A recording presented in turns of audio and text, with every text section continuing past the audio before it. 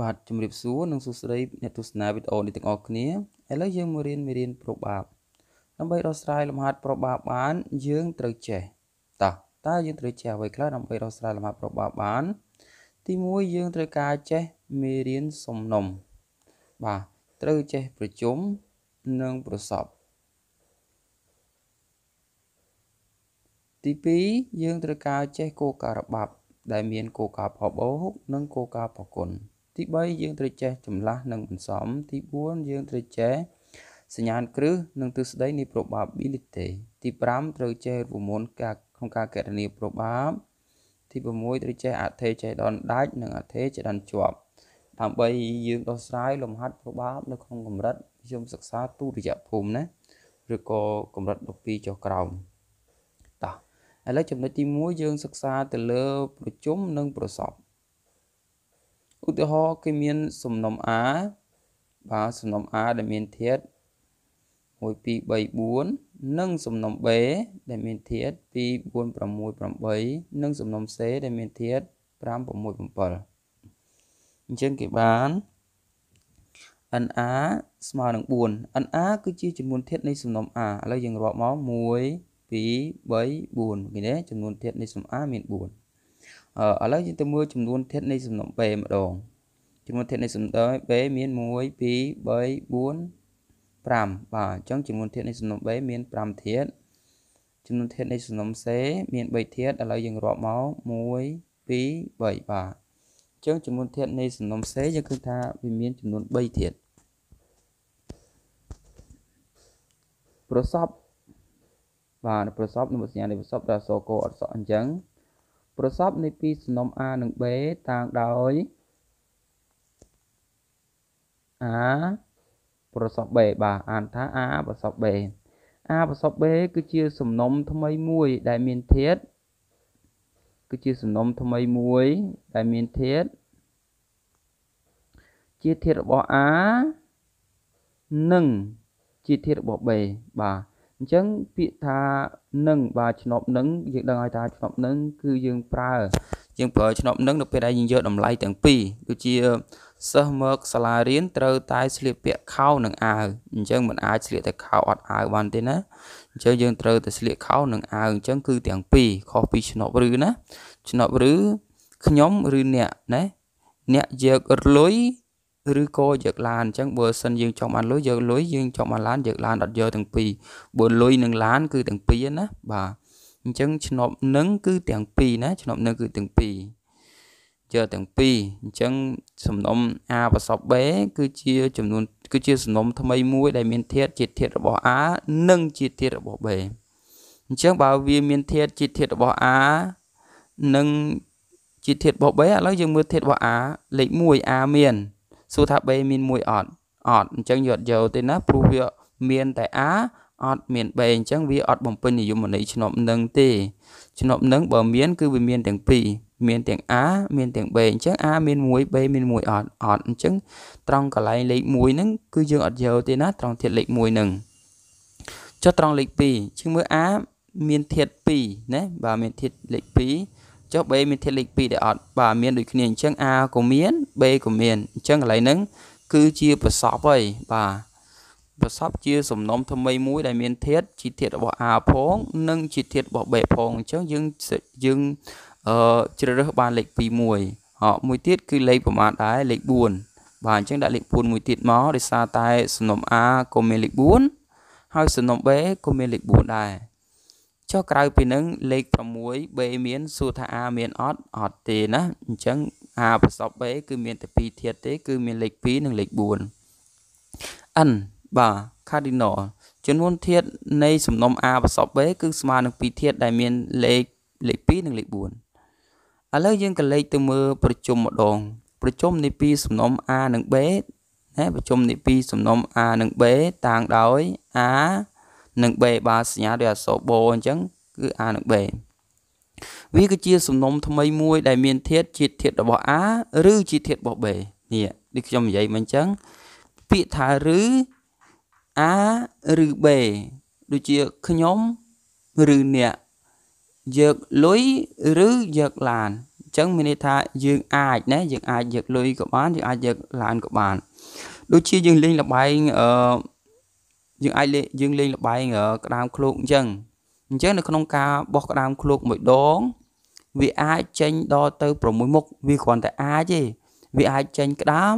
ឬវាអាចចេញឃ្លោក ឬវាអាចចេញត្រីមែនទេអញ្ចឹងមានន័យថាវាអាចចេញ តែតាមពិតវាចេញតែមួយទេយើងជ្រើសរើសតែមួយទេប៉ុន្តែវាអាចនឹងចេញដល់ទៅ6ករណី អញ្ចឹងនេះយើងប្រើឆ្នុកឬឯណាបាទក្តាម ឬឃ្លោកឬត្រីដែលអាចនឹងចេញអញ្ចឹងដូចគ្នាដែរអេអញ្ចឹងវាអាចជាធាតុនៃសំណុំ A ឬវាអាចជាធាតុនៃសំណុំ B អញ្ចឹងគេបាន A ប្រជុំ B ណាបាទអញ្ចឹងគេបាន A ប្រជុំ B វាគឺជាសំណុំថ្មីមួយ ដែលមានធាតុមក A1 ត្រូវដែរ1យ ក B ទោះបីជាគ្មានអត់ក៏អត់ទៅណាបាទ B មិនមានធាតុមួយក៏យើងយកដែរព្រោះយើងយកធាតុរបស់សំណុំ A ឬជាធាតុរបស់សំណុំ B អញ្ចឹងវាថាយកទាំងអស់យកធាតុរបស់ A និងធាតុរបស់ B យើងឃើញថា A សំណុំ A មានលេខ2ចុះ B មានលេខ2អត់មានដែរចុះបើក្នុងការសរសេរសំណុំគេសរសេរ អឺធាតុនៃសំណុំគេឲ្យមានអឺធាតុច្រំដាល់ទេអញ្ចឹងយើងអត់យកទេត្រង់លេខ2របស់ B ណាបាទយើងយកលេខ2របស់ A គឺមានន័យគ្រប់គ្រាន់តែម្ដងអញ្ចឹងលេខ2របស់ B មានន័យថាចំនួន2លេខ2និងលេខ4 A ក៏មាន B ក៏មានប៉ុន្តែក្នុងការសរសេរយើងយកមកតែមួយទេអញ្ចឹងយើងដកមួយចេញណាបាទអញ្ចឹងយើងដកមួយចេញអឺ6ណា B មាន6 B មានលេខ8 ហកមួយទៀត B មានលេខប្រមាណទៀតលេខ10អូខេអញ្ចឹងយើងឃើញថា A ប្រជុំ B ហ្នឹងគឺមានគ្រប់ធាតុទាំងអស់មានទាំងធាតុរបស់ A ឬធាតុរបស់ B ដូចខ្ញុំនិយាយអំបញ្ញមិញអញ្ចឹងការចាក់ក្តាមឃ្លោកអញ្ចឹងណាវាអាចបាទវាអាចនឹងមានទាំង6ករណីវាអាចចេញ6ករណីប៉ុន្តែធាតុពិតវាចេញតែមួយទេគ្រាន់តែវាអាចនឹងកើតឡើងអញ្ចឹងឥឡូវនេះ A ប្រជុំនឹង B វាអាចមានធាតុជាធាតុរបស់ A ឬជាធាតុរបស់ របស់ B អញ្ចឹងយើងយកទាំងអស់មកទាំង A យកទាំង B ប៉ុន្តែធាតុណាដែលច្រំដែរយើងសរសេរតែម្ដងទេណាបាទអញ្ចឹងនោះ A ប្រជុំ B គឺមាន7ធាតុណាបាទគឺមានចំនួន7ធាតុយើងអាចទាញសន្និដ្ឋានបានថាយើងអាចទាញសន្និដ្ឋានបានថា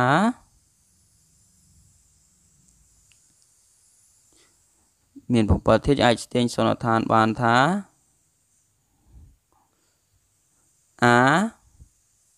បាទធាតុនៃចំនួន A មាន4ធាតុធាតុនៃសំណុំ B គឺមាន5ធាតុណា4បូក5វា9ធាតុហើយចុះហេតុអីបានវានៅសល់តែ7ធាតុគេថាយកគ្រប់ធាតុអីមូលហេតុមកពីយើងដកធាតុដែលច្រំដែរចេញណាបាទអញ្ចឹង NA ស្មើ4ធាតុ NB វាស្មើជាមួយនឹង5ធាតុបាទនេះ NB ស្មើនឹង5ធាតុប៉ុន្តែយើងដកធាតុច្រំដែរចេញព្រោះយើងអត់សរសេរចំនួនច្រំដែរហ្នឹងអញ្ចឹងលេខ2និងលេខ4 វាច្រំដែរអាចំនួនច្រំដែរហ្នឹងវាគឺជាអ្វីវាគឺជាប្រជុំបាទវាអឺ sorry វាគឺជាប្រសពជាប្រសពនៃសំណុំ AB ណាបាទអញ្ចឹងដើម្បីឲ្យសល់ចម្លើយ7យើងត្រូវយកធាតុណាយើងត្រូវយកធាតុនៃសំណុំ A ចំនួនធាតុនៃសំណុំ A បូកចំនួនធាតុនៃសំណុំ B ហើយដកប្រសពនៃសំណុំ A ប្រសពនឹង B ចេញ អញ្ចឹងយើងអាចទាញសន្និដ្ឋានបានថាដូចនេះបើសំណុំ A និងសំណុំ B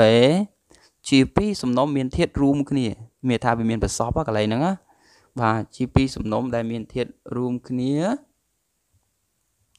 បើវាមានធាតុរួមគ្នាយើងត្រូវធ្វើម៉េចជាពីរសំណុំដែលមានធាតុរួមគ្នា គេបាន n ណាគេបាន ចំនួនធាតុណាអត់ហ្នឹងគឺជាចំនួនធាតុហើយគេបាន n បាទអញ្ចឹងយើងអាចទាញបាន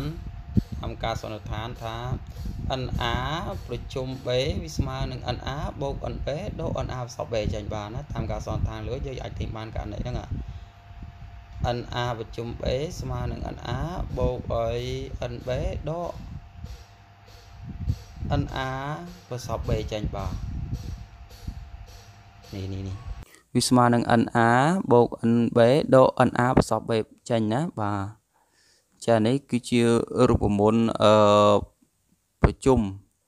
ហើយប្រជុំហ្នឹងនៅពេលដែលប្របាបយើងប្រើនៅក្នុងគោលការណ៍ផលបូកណាតែចាំណាគឺប្រើក្នុងគោលការណ៍ផលបូកទៅពេលប្រសពគេប្រើក្នុងគោលការណ៍ផលគុណណាឲ្យចាំអឥឡូវយើងទៅមើល A ប្រជុំនឹង C វិញម្ដងឥឡូវយើងយកសំណុំ A ប្រជុំ C អញ្ចឹង A ប្រជុំ C វាគឺជាសំណុំថ្មីមួយណាបាទដែលមានធាតុជាធាតុរបស់ A ឬជាធាតុរបស់ C បាទមានធាតុជាធាតុរបស់ A ឬជាធាតុរបស់ C ឬជាធាតុរួមរបស់ A ផង និងរបស់ C ផងហើយហ្នឹងណា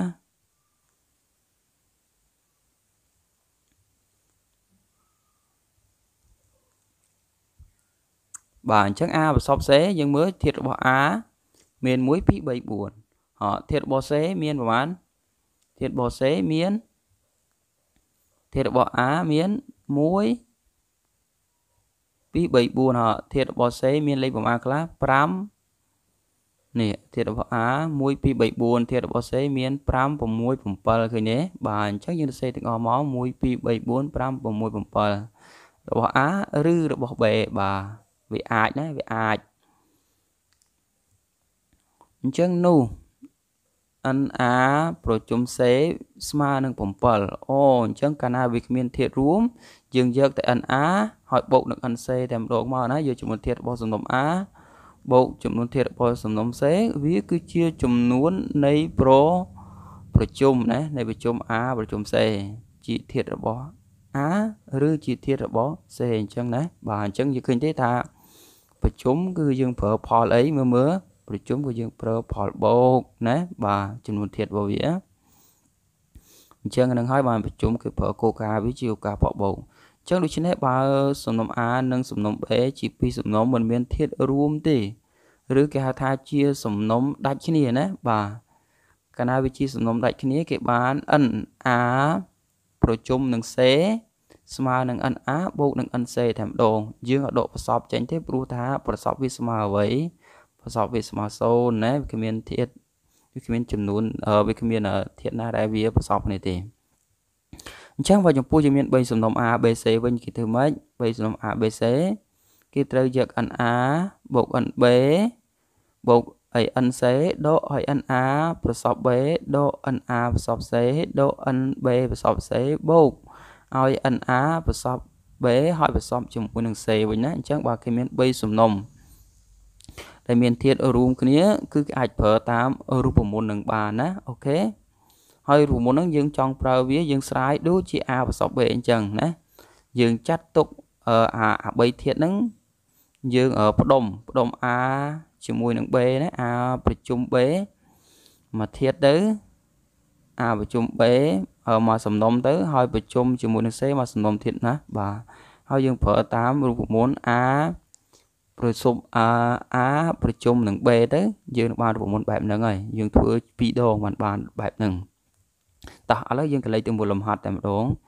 គេមានសំណុំ A មានធាតុ1 2 3 4 5សំណុំ B មានធាតុ1 3 5 7 9ហើយសំណុំ C មានធាតុ2 4 6 8ចូលកំណត់ តើគេឲ្យយើងកំណត់អ្វីចូលកំណត់ NA NA គឺជាចំនួនធាតុនៃសំណុំ A NB គឺជាចំនួនធាតុនៃសំណុំ B ហើយ NC ជាចំនួនធាតុនៃសំណុំ C ហ៎មួយទៀតគេឲ្យយើងកំណត់ A ប្រូសព B អញ្ចឹងយកសំណុំ A ប្រសពសំណុំ B មកមួយទៀត NA ប្រសព B បាទអញ្ចឹងកាលណាយើងរក A ប្រសព B ឃើញយើងអាចរក NA ប្រសព B បានណា A ប្រជុំ C NA ប្រជុំ C A ប្រជុំ C ហើយ ទៅប្រសពនឹង B ទៀតណាបាទ A ប្រជុំ C ហើយប្រសព B ទៀតអញ្ចឹងកន្លែងនេះចង់ដំណោះស្រាយចេញងាយស្រួលយើងយក A ទៅប្រជុំ C សិនមករួចបានរកឃើញអាប្រជុំនឹងហើយយកវាទៅប្រសពជាមួយនឹង B តាមក្រោយអញ្ចឹងយើងនឹងបាន A ប្រជុំ B អឺ A ប្រជុំ C ហើយប្រសពជាមួយនឹង B ហើយមួយទៀតយើងត្រូវរក N A ប្រជុំ B ប្រជុំ C អញ្ចឹងដើម្បីរក NA ប្រជុំ B ប្រជុំ C បានអញ្ចឹងយើងអាចរកបានតាមពីរករណីយើងធ្វើប្រជុំវាទាំង3នឹងហើយចាំរកចំនួនធាតុតាមក្រោយឬក៏យើងប្រើតាមរូបមន្តដែលយើងមានបាទរូបមន្តដែលយើងមាន A ប្រជុំ B ហើយប្រជុំ C យើងប្រើតាមរូបមន្តនឹងក៏បានចឹងដើម្បីរករូបមន្តនឹងបានយើងត្រូវការរក NA យើងត្រូវការរក NB យើងត្រូវការរក N NC ហើយយើងដក A ចំនួនធាតុនៃ A បន្សល់ B ដកចំនួនធាតុនៃ A បន្សល់ C ដកចំនួនធាតុនៃ B បន្សល់ C ហើយបានបូកជាមួយនឹង A បាទហើយបានបូកជាមួយនឹងចំនួនធាតុនៃ A ប្រសព B ហើយប្រសពនឹង C យើងអាចធ្វើបានតាមរូបមន្តនឹងក៏បានដែរឲ្យតែយើងរកតម្លៃរកតម្លៃវាបានទាំងអស់ហើយយើងអាចធ្វើតាមរូបមន្តនឹងបានណា យើងទៅការរកសិនណាបាទអញ្ចឹងយើងចង់ធ្វើប្រជុំវាទាំង3សិនក៏បានឬក៏យើងប្រើតាមរូបមន្តក៏បានអញ្ចឹងស្រាច់តែចិត្តយើងទេត្រូវចាំថាគណិតវិទ្យាមានវិធីធ្វើច្រើនណាធ្វើតាមណាក៏មិនខុសដែរឲ្យវាតែឲ្យតែវាត្រឹមត្រូវតាមទស្សបត្តិនិងយមន័យនៃគណិតវិទ្យាលំហាត់នេះយើងយកទៅរៀនអនុវត្តធ្វើដោយខ្លួនឯងក្នុងការរកប្រជុំនិងរកប្រសពនៃសំណុំ ប៉ុន្តែនៅក្នុងមេរៀនប្របាបយើងមិនមិនជាមានមួយចំណុចទៀតគឺអឺសំណុំរង និងសំណុំរងបំពេញណាដែលយើងត្រូវតែចេះដែរអឺប្រជុំនិងប្រសពយើងបញ្ចប់ត្រឹមប៉ុណ្ណឹងហើយយើងយកលំហាត់ទៅធ្វើដោយខ្លួនឯង ឥឡូវយើងបន្តមួយទៀតគឺយើងរៀនពីគោលការណ៍របបណាបាទភាគបន្តគឺយើងរៀនពីគោលការណ៍របបអញ្ចឹងក្នុងគោលការណ៍របបហ្នឹងយើងបានចែកជាពីរគឺគោលការណ៍ផលបូកនិងគោលការណ៍ផលផលគុណបាទគោលការណ៍ផលបូកនិងគោលការណ៍ផលគុណដែលយើងមានទាំងទិសដីនិងលំហាត់អនុវត្តជាក់ស្ដែងតែម្ដង បាទបើសិនជាមានចម្ងល់សូម comment នៅវីដេអូខាងក្រោមនៅខាងក្រោមវីដេអូហើយសូមជួយចុច Subscribe និងជួយចុច Like ដើម្បីបានវីដេអូក្រោយៗទៀតបាទសូមអរគុណសូមជម្រាបលា